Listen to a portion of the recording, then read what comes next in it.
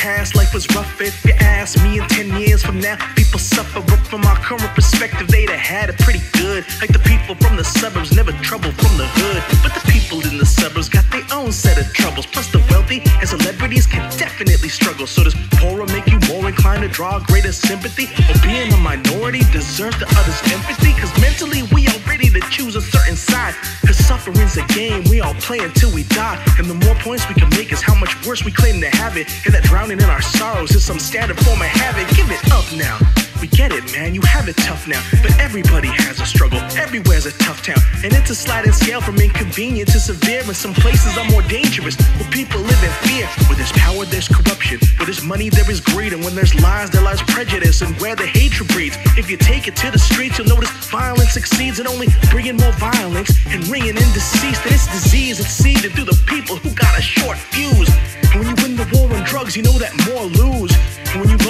Students, you enslave them, and they wonder why frustration plagues their brains, cause we made them.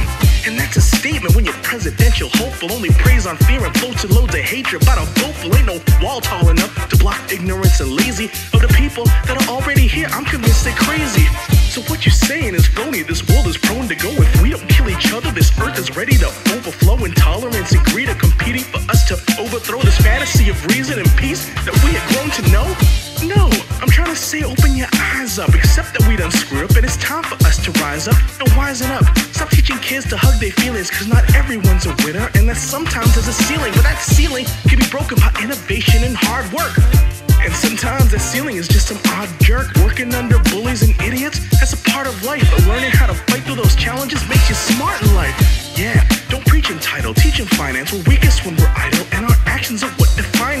There's truth in sciences, not just on faith, but those mountains of research and studies that others pave. Don't deny your spirit. The unknown outweighs the known. When we're left with only thoughts our mind can find, we're not alone. And most importantly, think for yourself. I can't be clearer. Using lyrics from my rap as a guide for life is drear. I ain't qualified to give you advice. I ain't a doctor. I'm just sitting out here spitting verses for y'all to walk resonates within you, or maybe there's a quote that I wrote you hate and just offends you. That's the only thing I need from y'all, just to continue to keep penning these last tracks that we've all been through. If I can take you there, my words evoke emotion, my subject matter causes dispute. That's all I'm hoping. It ain't much left to say. My breath is running thin, but if you made it through the most of this track, you made me grand.